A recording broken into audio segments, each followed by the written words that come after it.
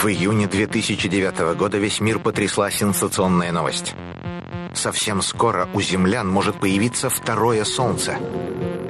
Звезда Бетельгейзе, одна из самых известных суперзвезд, стремительно сжимается. Всего за полтора десятилетия она сократилась в размерах на 15%. Что происходит со звездой? У ученых пока нет объяснения этому явлению, но большинство из них склоняются к мысли, что за сверхбыстрым сжатием последует взрыв. И произойти это может в любой момент. Взрыв Бетельгейзе будет таким мощным, что на небосводе появится второе палящее солнце. Звезды гиганты действительно завершают свою жизнь большим взрывом. Взрывом просто огромной мощности. То есть такие звезды становятся просто видны на колоссальное расстояние. И, конечно, если Бетельгейзе, ближайший, ну, не ближайший, но одна из ближайших к нам звезд взорвется, конечно же, на небе действительно будет два солнца. Чем же грозит нам, землянам, появление второго солнца? Сначала на Земле произойдет резкое повышение температуры. День навсегда сменит ночь. Начнется медленное таяние льдов и, как следствие, наводнение – Кроме того, взрывы сверхновых звезд сопровождаются сильными потоками гамма-излучения. Такое излучение способно проникать сквозь земную атмосферу, а это смертельно для человека. Поэтому какие-то вот сильные взрывы, типа взрыв сверхновых звезд с потоками гамма-излучения, они просто выжигают жизнь, понимаете? Поэтому вопрос о том, как влияет на день и ночь, он как бы вторичным становится. Вот, поэтому взрыв сверхновый рядом с нашим Солнцем, он, скорее всего, уничтожит жизнь Земли с большой вероятностью. Резкое повышение температуры за считанные месяцы погубит все живое на Земле. Ну а сама суперзвезда-убийца еще в течение нескольких миллиардов лет будет гореть на нашем небосводе. Но это лишь один вариант развития событий. Сейчас гораздо опаснее для землян наше Солнце. Рядом с ним и на его поверхности в последнее время происходит слишком много аномальных явлений – 14 января 2011 года в одной из китайских провинций в городе Чанчунь местные жители вышли на улицу и замерли в оцепенении от удивления и страха. На небе появилось еще одно солнце. Температура за одно мгновение подскочила на несколько градусов. Но вскоре второе солнце исчезло так же неожиданно, как и появилось. Китае такое происходит не впервые – Появление на небе двух солнц в этой стране наблюдали 8 января 2011 года. Тогда аномальное явление длилось около часа.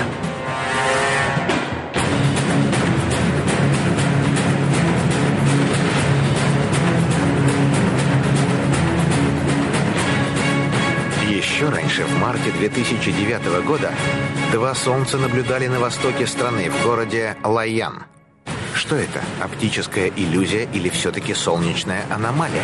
Ответить на этот вопрос однозначно ученые не могут. Но в том, что от Солнца в ближайшее время можно ожидать непредсказуемых явлений, сомнений нет никаких.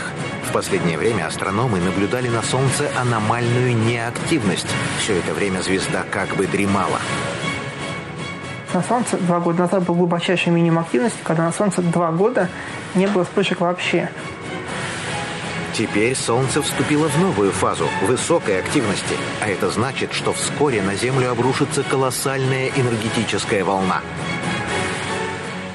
Солнце в этом плане задержалось, а потом начало наверстывать упущенное, что вот сейчас э, и происходит, поэтому мы в этом году уже столкнулись с двумя вспышками класса X, вот, чего не было практически более четырех лет. Класс X так ученые окрестили самые мощные, а значит и самые опасные солнечные вспышки. Это уникальные по своей мощности процессы выделения световой и тепловой энергии в атмосфере Солнца. Продолжительность солнечных вспышек часто не превышает нескольких минут, а количество энергии, высвобождаемой за это время по мощности, может в сотни раз превышать взрыв атомной бомбы. Первые мощные энергетические удары от Солнца Земля ощутила на себе 8 февраля 2010 года. Всего за сутки на звезде произошло 22 вспышки. Для астрономов это стало неожиданным явлением, поскольку было зарегистрировано на фоне спокойного Солнца. Через четыре дня, 12 февраля 2010 года, на Солнце произошла еще одна мощная вспышка. Мы э, по некоторым признакам э, можем сказать, что вот данная активная область на Солнце, она может дать вспышку. И э, мы знаем, что она точно даст вспышку. Но когда, не знаю.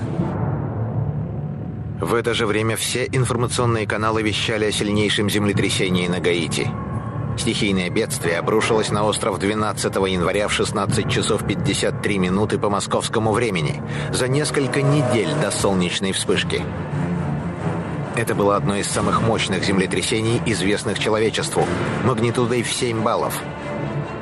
В одно мгновение здания и постройки острова сложились, как карточные домики – Жертвами землетрясения стали почти 230 тысяч человек. После основного было зарегистрировано множество повторных толчков, 15 из которых с магнитудой более 5 баллов.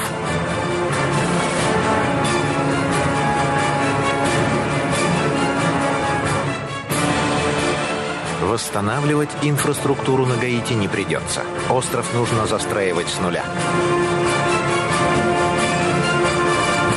Кандидат физико-математических наук Игорь Шестопалов установил связь между солнечной активностью и землетрясениями на Гаити. Изучение взаимосвязи Солнца и землетрясений ученый вместе с коллегами начал проводить еще в середине 90-х. Мы взяли один в начале цикла солнечной активности и, и, сравнили, и сравнили его показания сейсмической активности, сравнили с числом 5. И вот с самого начала обнаружили отрицательную корреляцию между солнечной активностью и сейсмичностью.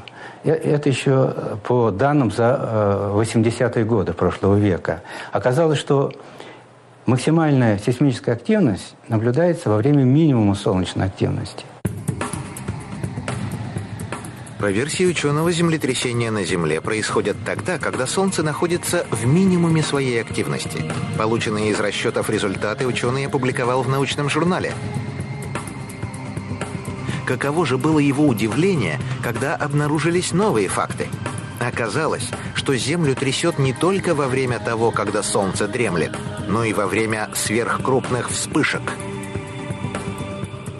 Самые крупные э, э, солнечные вспышки были 23 февраля 1956 года и вот совсем недавно, в 2005 году, 20 э, января.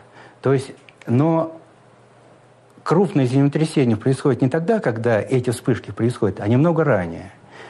Значит, значит, в 2004 году в декабре было землетрясение с магнитудой 9, которое тоже вызвало большое цунами и большие разрушения, и много смертных случаев было. Сопоставив все данные сейсмической и солнечной активности за последние сто лет, Шестопалов обнаружил между ними прямую связь. Свое открытие он назвал «вековым циклом». Ученый утверждает, сейчас мы вступили в один из таких циклов. Наступил в конце 90-х годов, а э, по солнечной активности чуть с небольшим запозданием. То есть на один солнечный цикл примерно на 10-11 лет э, он наступил с запозданием. То есть в наше время мы наблюдаем начало векового солнечного цикла, а в начале векового солнечного цикла солнечная активность очень низкая. Вот то, что мы практически и э, обнаруживаем. А сейсмическая активность принимает очень большое значение.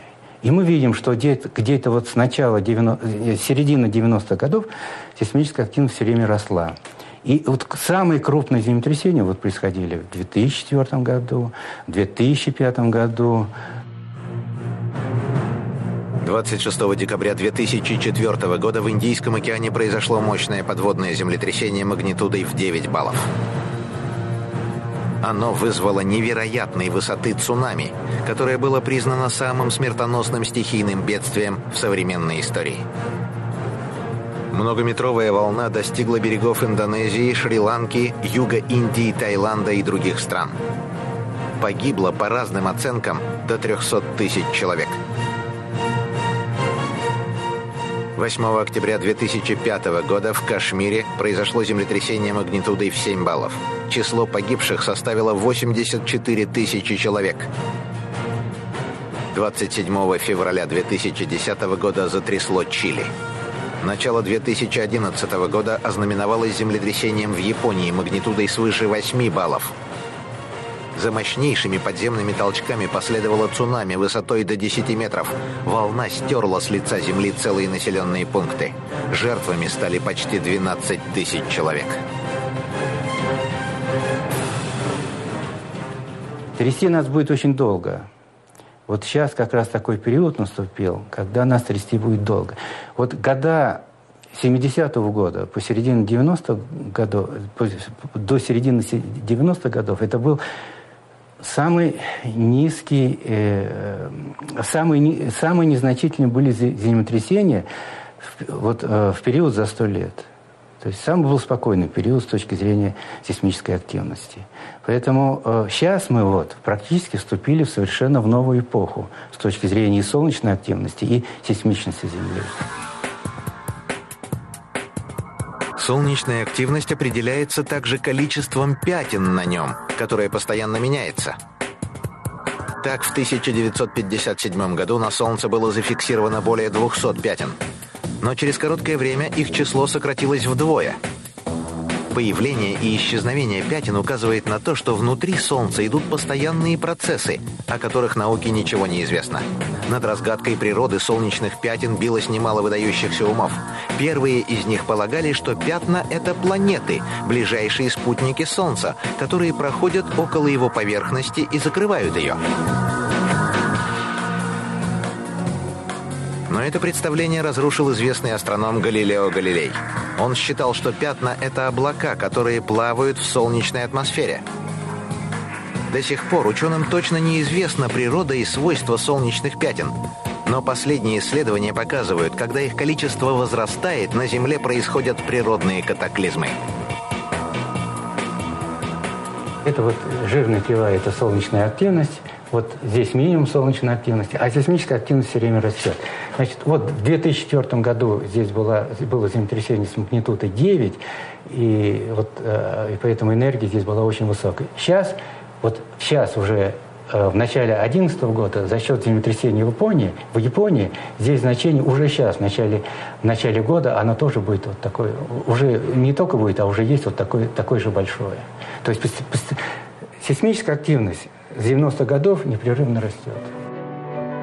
О взаимосвязи процессов, которые происходят на Солнце и одновременно глубоко под Землей, еще в 30-х годах прошлого века заговорил советский биофизик Александр Чижевский. Он установил, что Солнце может влиять не только на сейсмическую активность нашей планеты, но и на возникновение эпидемий.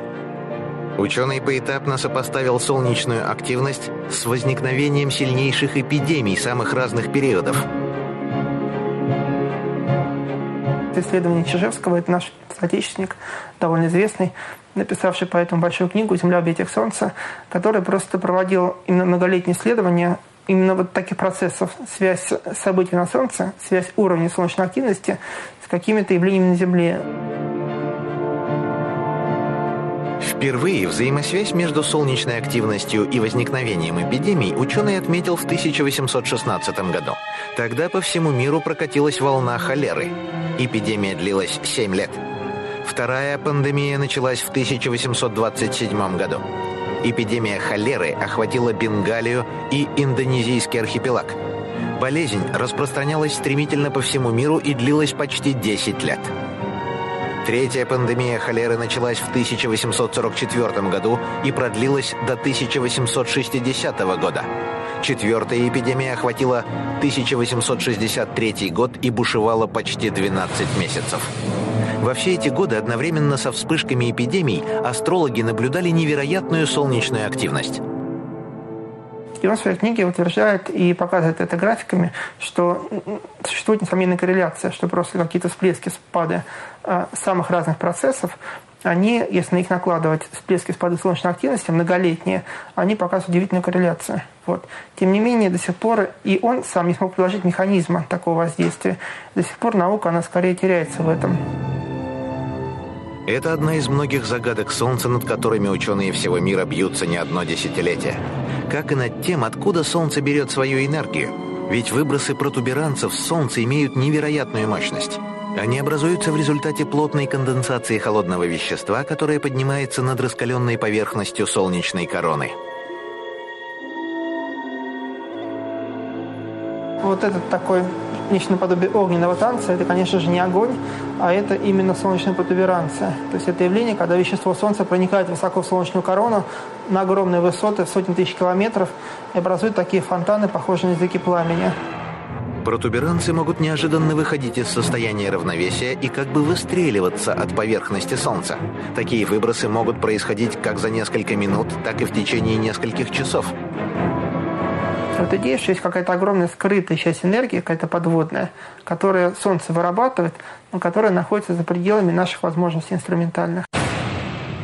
25 февраля 2011 года из атмосферы Солнца поднялся мощный столб плазмы – его размеры были колоссальны – 600 тысяч километров. Это в 50 раз больше диаметра Земли. На мгновение все ученые замерли в ожидании. Если сверхмощный протуберанец направится в сторону Земли, то наша планета превратится в безжизненный огненный шар. Но, к счастью, фонтан раскаленного газа двинулся в сторону Марса. Откуда берется энергия, до сих пор не до конца объяснимо. То есть до сих пор ну, толком непонятно, за счет чего Солнце такого рода явления производит. Доктор технических наук Владимир Цуковский выдвигает на этот счет уникальную теорию. Он считает, что Солнце черпает свою энергию из эфира. Если считать, что вот все излучения, вот сколько Солнце дает излучения, и, значит, благодаря там ядерным реакциям, как это считается, то этой энергии хватило бы на 100 миллионов лет. Оно существует 5,5 миллиардов лет или даже больше. Откуда дополнительный источник? Наука этого не знает. А когда мы начинаем смотреть, что Солнце поглощает эфир, который имеет значительно большую температуру, чем тот эфир, который внутри, вот вам дополнительный источник. Понятие эфира существовало еще в глубокой древности. Предки называли его заполнителем пустоты. В 1618 году французский физик Рене Декарт выдвинул гипотезу о существовании светоносного эфира. После этого многие ученые бросили свои силы на поиски неосязаемого газа. В их числе был и наш соотечественник Дмитрий Менделеев. Он в 1904 году опубликовал концепцию мирового эфира, которая бурно обсуждалась в научном мире.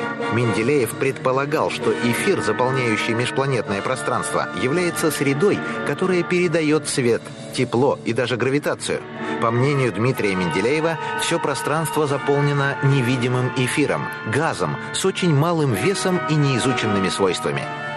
Значит, эфир оказался газом, газом обыкновенным, вязким, с очень большим давлением и очень разряжен. Его плотность массовая на 11 порядков меньше, чем плотность воздуха. Тем не менее, он обладает огромной, э, так сказать, энергией, огромной, огромным давлением, благодаря очень высокой скорости своих молекул. А Ньютон, когда попытался найти свойства этой среды, ему это не удалось, он сказал, а зачем нам это знать? Не, не надо, мы знаем, что это тело влияет на это, а что тут посередине нас вообще не касается. И, значит, эта позиция завоевала всю мировую фундаментальную науку, что нам знать это дело не надо. А Эйнштейн в 20 году в 24 спохватившись сказал, что общая теория относительности без эфира немыслима. Но это уже ни на кого не произвело впечатления. Обнаружить эфир никому не удавалось, тогда появились противники этой теории. С тех пор поиски эфира прекратили, но Владимир Ацуковский уверен, газ существует, и под его влиянием движением огненная звезда выбрасывает со своей поверхности во все стороны космического пространства невообразимого размера кометы. Каждую секунду, ну, в крайнем случае, две, должна появиться, появляться новая комета. Спрашивается, откуда? С моей точки зрения, источник, э, значит, комет, э, кометы порождаются в основном Солнцем, а Солнце является таким хорошим внешним стимулятором вот, всяких таких процессов. Потому что особенно тогда, когда вот оно там выстреливает там вещество или выстреливает кометы. Это наше счастье, что кометы прямо от Солнца не, не врезались к нам сюда.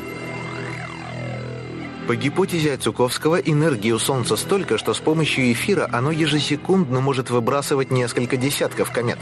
И солнечная корона – не что иное, как выбросы эфира.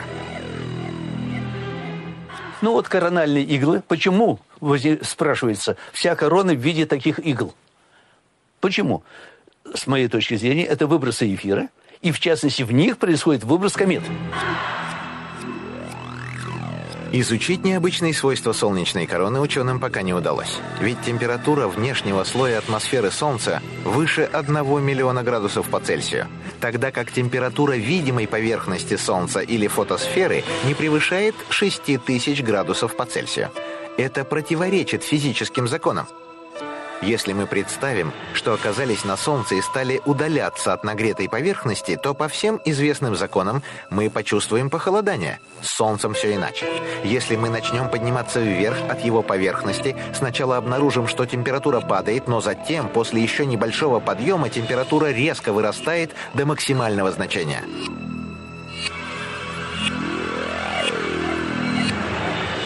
Есть некие процессы на короне, на Солнце, до сих пор непонятные нам. Ну, например, процесс нагрева короны, например. Скажем, Солнце, оно имеет поверхность холодную, около 6000 градусов, и вдруг над ним, над холодной поверхностью, возникает горячая корона Солнца, атмосфера Солнца с температурой около миллиона. То есть, получается, как бы холодное греет горячее, что, вообще говоря, не, не, непонятно, собственно говоря. О механизме нагрева солнечной короны ученые выдвинули несколько предположений, но ни одно из них до сих пор не подтверждается. Член-корреспондент Академии космонавтики имени Циолковского Павел Свиридов объясняет такое свойство Солнца его искусственным происхождением. Это, возможно, просто механизм существования нашей Солнечной системы, часть механизма.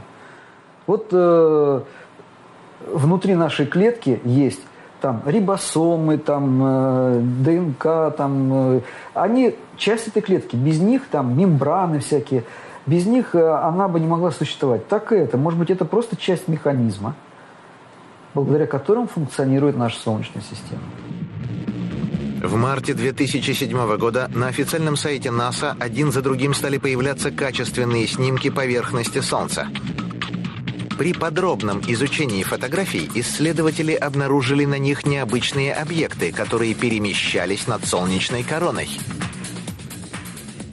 Вот эти самые нашумевшие снимки НАСА, э, они говорят, что это артефакты, но артефакты не могут перемещаться во времени по определенной траектории. А мы это можем видеть, что они имеют траекторию, они имеют некую структуру, которая очень похожа на техногенную. Снимки были сделаны во время эксперимента под названием «Стерео». 25 октября 2006 года с мыса Канаверал во Флориде стартовала ракета «Дельта-2». Она вывела в космос два одинаковых спутника обсерватории, чтобы фиксировать параметры деятельности Солнца. В течение нескольких недель эти спутники, медленно вращаясь, удалялись друг от друга. Вскоре первый спутник приблизился к Луне – и под действием ее гравитации аппарат отбросило ближе к Солнцу. Затем его догнала вторая космическая обсерватория, и оба спутника поселились на орбите Солнца. Спутники начали дрейфовать и удаляться от Земли в разные стороны. Такое положение позволило зафиксировать изображение Солнца сразу с двух сторон. Как только снимки поместили на официальном сайте НАСА, сразу же появилось несколько версий о природе необычных пятен. Ведут споры о том, что это неопознанные объекты, и более того, по скоростям их перемещения, что они движутся быстрее скорости света. Дело в том, что э, в рентгеновской оптике существуют э, разные, скажем так, ну, погрешности оптики, скажем, пятно на фильтре, скажем, ну, вот, скажем, какое-то повреждение фильтра. Соответственно, когда получаете изображение, в этом месте на изображении получается очень как бы такое темное пятно. По мнению ряда исследователей, эти объекты должны быть размером с нашу планету. Но странно то, что они не сгорают в солнечной короне. Пятна присутствуют абсолютно на всех снимках, и траектория их постоянно меняется. Официальные источники НАСА дали по этому поводу исчерпывающий комментарий. Пятна – не что иное, как дефект изображения – такое упорядочение артефактов уже наводит на то, что это не дефекты пленки и не дефекты съемки. Мы можем заметить, что на каких-то снимках эти артефакты ретушируются и просто стираются. Видно, что эти объекты имеют э, сложную структуру, ромбовидную, э, имеют какие-то такие э, отростки, которые наводят на мысль о том, что это опоры. Ученые проследили траекторию движения пятен, обработав все снимки, начиная с 2007 и заканчивая 2011 годом. Тогда стало ясно, что эти объекты не имеют ничего общего с дефектами фотопленки, ведь движутся они в определенном направлении. НАСА – это орган, который создан в первую очередь для дезинформации. Потому что если посмотреть историю его создания и то, что было записано в уставе, это военная организация, которая в том числе использует методы э, дезинформации. Что это? Дефект оптики? Или же на самом деле человечество столкнулось с неопознанными объектами, которые уже давно используют энергию Солнца в своих целях? Сегодня звезда слишком плохо изучена человеком. Ни у одной страны мира нет технологической возможности приблизить спутник на максимально близкое расстояние к этой раскаленной звезде. При температуре, которой обладает Солнце, даже сверхпрочный металл превращается в пар. Но у России сегодня появилась возможность стать пионером в изучении Солнца. Научная экспедиция «Интергелиозонд» стартует в 2014 году. Ученые надеются, что их аппарат сможет подойти на максимально близкое расстояние к Солнцу, туда, где не был еще ни один спутник впервые как бы должны будем э, использовать защитный экран, потому что когда мы приближаемся в три раза ближе, значит, в квадрат раз, в 9 раз увеличивается нагрев от Солнца. Ну, считайте, в 10 раз. И поэтому аппаратура может очень сильно нагреваться. И поэтому надо защищать ее. Это будет такой экран, который будет защищать. Э, значит, сам он будет нагреваться и отдавать э, тепло излучением. И поддерживать температуру за экраном Э, рабочую температуру. И у каждого прибора будет своя система, чтобы тоже не было перегрева. Но для того, чтобы эксперимент удался, ученым придется решить еще одну проблему, с которой сталкиваются все, кто изучает Солнце. Преодолеть расстояние в 140 миллионов километров. Пока ни один созданный человеком космический корабль и даже спутник не может подлететь близко к звезде. И тогда российским ученым пришла в голову идея воспользоваться притяжением других планет. Интергелиозонд планируется направить к Солнцу с использованием гравитационного маневра у Венеры. Но чтобы приблизиться к Солнцу, это не так просто, потому что э, Значит, э, это требует мощную ракету или э, большое время. Одно, значит, вот как бы их произведение как бы постоянно. То есть либо мощная ракета, вы быстрее летаете, либо вы э, малой ракетой, значит, э, дольше летите. И, грубо говоря, чтобы попасть в ближайшие окрестности, ближе, нужно эту скорость погасить. Современные ракеты дают примерно там э, 10-12 э, километров в секунду. Вот, и это предел. Вот, поэтому, в частности, для сближения используют такие баллистические схемы с гравитационными маневрами у планет. Интергелиозонд попадет прямо в корону Солнца на расстоянии в 30 миллионов километров от поверхности звезды. Никогда еще земной объект так близко не подбирался к Солнцу. Предшественником интергелиозонда был спутник Коронос Фотон – он был запущен 31 июля 2001 года с космодрома Плесецк, чтобы исследовать глобальные колебания Солнца. Но Кронос Фотон мог изучать звезду только с дальних расстояний. Тогда перед конструкторами была поставлена задача разработать спутник, который смог бы максимально близко подобраться к Солнцу и не сгореть. Тем более, что уже в декабре 2009 года Коронос Фотон был безвозвратно потерян в просторах космоса. Новый спутник Интергелиозонд в несколько раз превосходит своего предшественника. Коронус Фотон – это третий был спутник программы Коронус. У нас следующий по программе идет проект Интергелиозонд. Она наряду с тем, что она наблюдала Солнце и смотрела там выбросы и вспышки, активность, она летала в околоземном пространстве, значит, э, на низкой орбите и регистрировала значит, вот, э, все, что проявлялось. Космические лучи, которые достигали, радиация – Пока программа «Интергелиозонд» только на стадии разработки. Но если ее удастся воплотить в жизнь, то человеку откроются фантастические перспективы. Космическая наука выйдет на новый уровень. Наконец удастся составить более полное представление о звезде, которая не только подарила жизнь всей Земле, но и может в любой момент уничтожить ее. Ученые до сих пор не понимают, от чего зависит солнечная активность. Существует версия, что ее колебания – результат воздействия на звезду других планет. В частности, большой квадрат. Это когда, э, вот если Солнце в центре, все крупные планеты-гиганты начинают друг с другом противодействовать или противостоять. Так называемый большой э, негармоничный там, негативный резонанс. В такие моменты Солнце начинает испытывать очень сложное воздействие, как бы растягивающее в разные стороны. И оно тоже начинает вести себя очень неспокойно. Оно выплескивает энергию, она начинает э, проявлять нервозность, повышенную активность. И это приводит к тому, что меняется, в общем, в целом ситуация э, в нашей Солнечной системе. В такие дни э, Землю тоже лихорадит. От Солнца зависят все процессы, происходящие на Земле. В его энергии нуждаются все живые существа. Солнце правит земной жизнью и в любой момент может ее прекратить.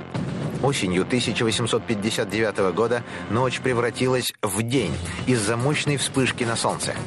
Во всем мире люди наблюдали северное сияние. Его видели даже жители Кубы, Гавайских островов и Ямайки. Из-за сильного воздействия вышла из строя вся даже самая несложная техника. Во время магнитных бурь возникают такие геомагнитно-индуцированные токи во всех проводящих системах. И вот эти токи, они могут нарушать нормальную работу. Случившееся в 1859 году назвали Карингтонским штормом в честь английского астронома Ричарда Карингтона. Он первым заметил, что Солнце за мгновение покрылось крупными пятнами, которые хорошо были видны даже без оптических приборов. Вскоре Солнце выбросило два огромных протуберанца, которые превратились в огненные шары. В одно мгновение они выросли до невероятных размеров и исчезли. Такие бури, которые могут привести к таким явлениям, они бывают очень редко. Э, вот э, это, скажем, за солнечный цикл бывает э, примерно около 600 магнитных бурь испытывает Земля. Из 150 бурь, значит, 10 очень сильных, 10. И одна буря исключительно сильная. Если буря подобные силы обрушатся на Землю сегодня, то это грозит небывалого масштаба техногенной катастрофой. Силу природы давно научились использовать в своих целях военные. Так появилось климатическое и биологическое оружие. Теперь они замахнулись и на Солнечную систему. Военный ученый Андрей Шалыгин уверен, Солнце не только самостоятельно сможет обесточить всю Землю, но и стать оружием в руках землян. В военных целях можно использовать все. На сегодняшний день э, даже, в общем-то, в России, которая переживает не лучшую технологическую эпоху, существуют проекты типа «Парус», которые предназначены для обогрева северных городов э, полями зеркал, а что, собственно, сделать не особо проблематично. Если вывести на орбиту огромное зеркало и направить солнечные лучи на фокусные точки, то можно сжигать целые города и населенные пункты. Подобный эксперимент в 212 году до нашей эры совершил Архимед. Легенда гласит, что в ходе Второй Пунической войны древнегреческий ученый сжег во время осады римский флот. Архимед отполировал зеркала до блеска и с помощью их сфокусировал на вражеском флоте солнечные лучи. Таким образом, он превратил деревянные римские корабли в пепел. Современной истории подобные случаи неизвестны. Однако 4 февраля 1993 года примеру Архимеда, правда в мирных целях, последовали российские ученые. На грузовом космическом корабле «Прогресс М-15» было развернуто 20-метровое зеркало – Цель эксперимента – освещение приполярных областей России. С первой попытки желаемого результата ученые не достигли. Для осуществления задуманного необходимо было доставить на орбиту зеркало в несколько раз превышающее размеры того, что установили на прогрессе М-15. Следующая попытка тоже была неудачной. И 26 октября 1998 года эксперимент был досрочно прекращен из-за ошибки в программе автоматического управления. После чего опыты с зеркалами прекратили совсем. Это оказалось экономически невыгодно. Но даже на первом этапе эксперимента стало ясно, солнечную энергию можно использовать не только в мирных, но и в военных целях. Использовать солнце как энергию можно а, не только применяя там, да, какие-то фокальные электромагнитные там, вещи, там, химические, но элементарно меняя температуру на локальной территории. Аномальную жару прошлого лета Андрей Шалыгин предсказал заранее, еще в 2007 году. Тогда над Москвой проводились климатические эксперименты.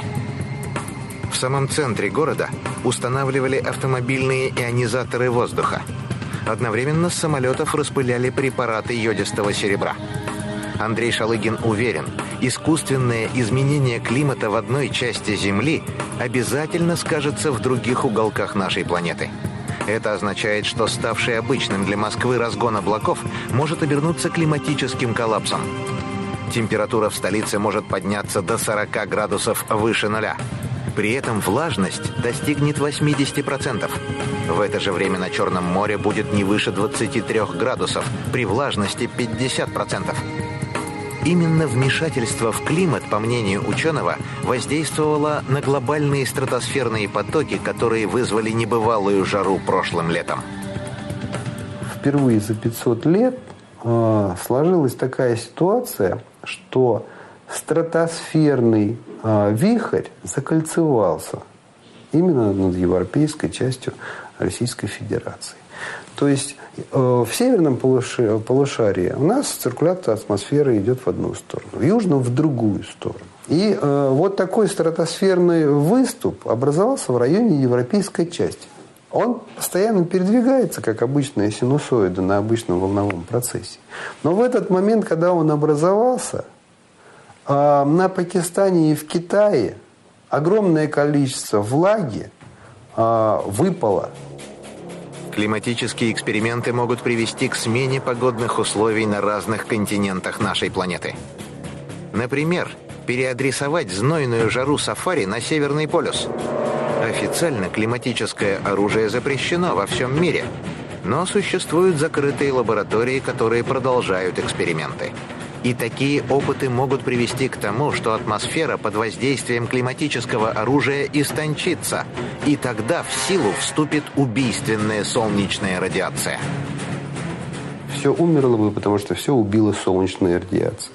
И тот тоненький слой атмосферы и озона, который существует на планете, в совокупности с магнитным полем Земли, вот два этих фактора защищают, ну, собственно говоря, жизнь на Земле. Солнечная радиация – это электромагнитное излучение Солнца. По сути, оно является основным источником энергии для большинства жизненных процессов, происходящих на Земле. До нас солнечная радиация доходит в минимальном количестве. Ее фильтрует атмосфера и магнитное поле Земли. Если радиация в полной мере достигнет нашей планеты, то все живое погибнет – на состояние человека, который находится на Земле, солнечная радиация влияет минимально. Но есть группа повышенного риска. Это космонавты. Губительную энергию Солнца они ощущают на себе в полной мере. Если на Солнце произойдет мощная вспышка, то космонавты, находящиеся в это время в открытом космосе или на поверхности Луны, получат смертельную дозу радиации все заряженные частицы, которые летят от Солнца и другие, из других мест нашей галактики, э, чтобы и, и защищаться. Лучше бы деньги на это тратить, чем сейчас тратить на то, что там смотреть какие-то психологические вещи. Там уже не, будет не до психологии, там просто человек с ума сойдет, потому что мозги у него могут быть э, не мутировать, а они будут просто разбиты на куски вот этой жесткой радиации. При больших дозах облучения смерть наступает уже через несколько часов. Проходя сквозь тело человека, смертельное излучение запускает механизм мутации клеток.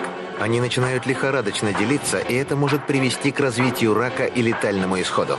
На орбите, где радиационный фон в сотни раз превышает фон поверхности Земли, космонавт каждые сутки получает дозу облучения в пять раз большую, чем при рентгене грудной клетки. А при выходе в открытый космос доза радиации оказывается выше в несколько раз. У Александра Сереброва за плечами 4 полета и 10 выходов в открытый космос. Третий полет стал для космонавта настоящим испытанием. Это было в 1989 году. Тогда Серебров в качестве борт-инженера выполнял задание на космической станции «Мир». Во время одного из полетов Александр то и дело замечал на Солнце яркие вспышки.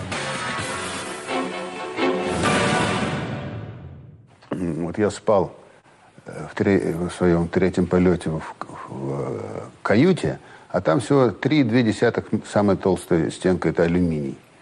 Так ночью иной раз просыпаешься, думаешь, что тебя кто-то сфотографировал, или, думал, забы, забываешь иной раз закрыть крышку иллюминатора на ночь. И обычно над Индийским океаном вспыхивают. э, Там постоянно эти молнии. Это у нас молния раз через там минуту-два. А она непрерывно ходит. Она вот бегает и все, не останавливаясь. Вспышка появляется такая, как будто тебя кто-то сфотографировал. Всего экипаж провел на мире 166 суток. За это время Серебров пять раз выходил в открытый космос. Находиться под постоянным облучением было настоящей пыткой. У космонавта начались сильные головные боли. Он постоянно чувствовал слабость. Вернувшись на Землю, симптомы лучевой болезни не прошли. Тогда Серебров понял, что если еще раз подвергнется такому же сильному радиационному излучению, то вернется на Землю инвалидом. Серебров решил себя обезопасить. Во время следующего полета в своей каюте из подручных средств космонавт создал радиационный щит. Я вот в четвертом полете себе оборудовал место, где и потом передал Полякову. Я там ни, одно, ни, од- ни одной вспышки не видел. Но я, я загородил там железом, аккумуляторами. Ну, в общем, защитился. У меня уже таких вещей не было. А в принципе, это вещь такая очень серьезная, не менее, не менее серьезная, чем какие-нибудь вот микроорганизмы. Для космонавтов существует предельная доза солнечной радиации, которую можно получить за всю жизнь. И каждый полет приближает их к этой грани, нанося здоровью непоправимый ущерб. Но и обычные люди на Земле не могут чувствовать себя в полной безопасности. Даже пройдя через плотные слои атмосферы, солнечная радиация все равно губительна для людей. Сегодня Солнце настолько агрессивно, что пребывая долгое время под открытыми лучами, в десятки раз возрастает опасность раковых заболеваний. Прошлым летом спрятаться от Солнца было невозможно. Аномальная жара стояла по всей Европе и в России. В Москве люди задыхались от густого дыма и падали в обмороки от необычайно высокой температуры. Солнце заставило россиян купаться в городских фонтанах. Такую сильную солнечную активность ученые связывают с возможностью возникновения нового ледникового периода. В масштабах э, длительного существования геопланетарных процессов различного рода потепления, похолодания были всегда и будут всегда. Вот сейчас, несмотря на то, что это лето было самым теплым за ближайшие 500 лет, э, несмотря на это, э, сейчас идет, э, собственно говоря, малый ледниковый период начинается. да. В течение двух последних лет Солнце почти не активно. И в том, что оно очень скоро проснется, никто не сомневается. Это может грозить нам не только аномально высокими температурами, но и сильнейшими магнитными бурями. Земные магнитные полюса могут дойти до экватора, что приведет к глобальной смене климата. Начнется мгновенное таяние льдов Арктики и Антарктиды. Уровень мирового океана поднимется в несколько раз. Материки навсегда уйдут под воду. В такие минуты люди просто сходят с ума. Раздражение и паника берет верх над разумом. В период солнечной активности число самоубийств увеличивается, возрастает риск конфликтов. Некоторые ученые уверены, существует связь между солнечной активностью и революциями. Связь событий на Солнце, связь уровня солнечной активности с какими-то явлениями на Земле, революции, какие-то вот там, может быть, статистика самоубийств в разных там местах земного шара, влияние на какие-то другие биологические системы, урожая пшеницы и прочего.